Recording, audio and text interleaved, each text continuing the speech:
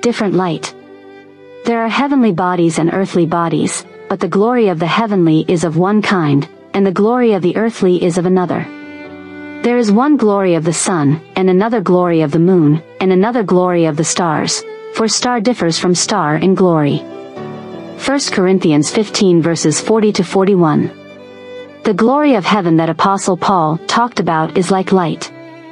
Just as the light of the sun, the light of the moon, and the light of the stars are different, the light that people living in heaven emit is different from the light emitted by those living on earth. The light that shines through the touch, expression, and actions of Christians is a light that pushes away gloom and darkness, but the light of those on earth leads together toward the path of death.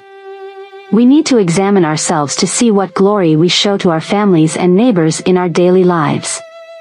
Jesus called himself the light of the world, and he lived a life of coexistence with God's glory because he did not compromise to show the glory of heaven on earth, did not succumb to threats, and did not stop walking on the path of the cross. People could gain wisdom of life that surpasses their limits within the light of that glory.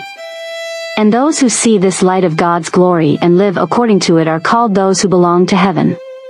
Today, Christians are people who show and live the glory of God who saved them, who resemble his character, bear his fruits, and live the life of those who belong to heaven.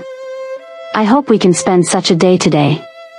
Loving Lord, I pray in the name of Jesus that our words, actions, and lives today can be a light that reveals the glory of those who belong to heaven, filling our shortcomings and guiding our weaknesses.